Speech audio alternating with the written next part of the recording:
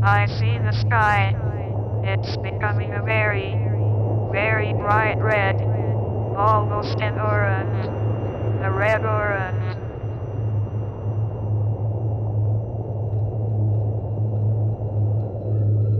And it's like I'm suspended.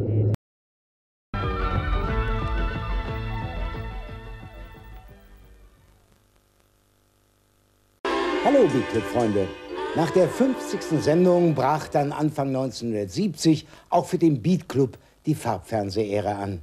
Buntfernsehen, sagten damals noch viele. Aber so paradox es klingt, der Beat Club verlor jetzt etwas von seiner früheren Buntheit.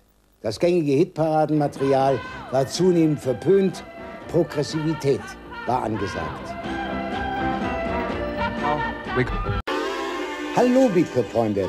In dieser Ausgabe sind vier interessante Bands mit je zwei Titeln vertreten. Und Marja Hunt mit Keep the Customer Satisfied gibt's als Draufgabe. Also der wäre zunächst mal Taj Mahal. Er sagte ja von sich, ich bin in erster Linie ein schwarzer Afrikaner, in zweiter Linie ein schwarzer Jamaikaner und erst in dritter Linie ein schwarzer Amerikaner. Seinen bürgerlichen Namen, den er als Sklavennamen empfand, hat er 1961 abgelegt. Seine panamerikanische Musik, wie er sie selbst bezeichnete, kombinierte Blues, kreolische Musik und amerikanische Folklore zum mitreisenden Funk, der ihm die Bewunderung weißer Rockstars wie Eric Clapton oder Mick Jagger eintrug. Ja, dann haben wir die Edgar Broughton Band. Aber der Sohn Edgar Broughton aus England verstand sich als revolutionärer Rockmusiker. Seine Band war Teil der britischen Underground-Kultur.